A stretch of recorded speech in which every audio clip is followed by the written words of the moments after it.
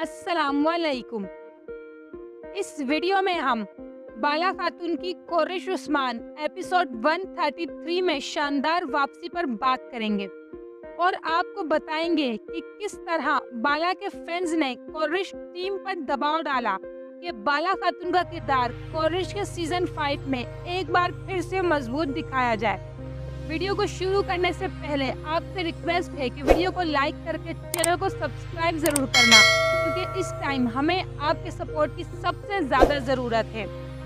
जैसा कि हम सब जानते हैं कि कोरिश के सीज़न के इब्तदाई दोनों एपिसोड्स में बाला खातून दीवार और कमज़ोर नज़र आई हैं और एपिसोड 132 का वो सीन जिसमें बाला खातून सूफी दरवेश यूनस एमरे से बाहर मिली और यूनस एमरे के वो अल्फाज कि शेख हैदब अली की बेटी को कौन नहीं जानता। बाला खातून की मुकम्मल शख्सियत को बयान कर रहे हैं। और हम सब जानते हैं कि बाजियान रूम की सरबरा खातून, बाला खातून तारीख में कितनी अहमियत की हामिल है। और अगर हम ये कहें कि शेख हैदब वाली की बेटी बाला खातून के बगैर तारीख नामुकम्मल है तो गलत नहीं होगा। यूनस एमरे से मुलाकात के बाद उनकी रूहानी बातों को सुनकर बाला खातून को रूहानी सुकून हासिल हुआ है। और अब एक बार फिर से बाला खातून उस्मानी महल में अपनी पुरानी शान और शौकत के साथ वापसी आ रही हैं।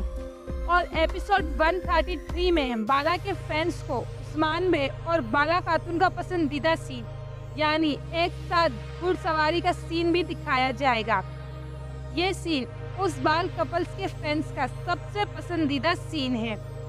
कोरिश के सीज़न फाइव के शुरू होते ही बाला खातून के फैंस ने मुख्तलिफ़ सोशल मीडिया प्लेटफॉर्म्स पर बाला खातून के हक में मुख्तलिफ़ हैश टैग को ट्रेंड्स बनाए रखा। हैश टैग बाला खातून एदिल सनेरियो, जिसका मतलब है बाला खातून के सिनेरियो के साथ इंसाफ किया जाए। और अब कोरिश टीम ने बाला के फैंस की सुन ली है। लेकिन यहाँ हम कॉलेज टीम से रिक्वेस्ट करते हैं कि वो हमें सीज़न वन और सीज़न थ्री वाली बाला खातून दिखाएँ। जो सिर्फ़ महल के अंदरूनी मामला तक ही महदूद रहे और उस्मान बे के साथ जंगों में उनके तारीखी अलब्स को ही लड़ते हुए दिखाया जाए।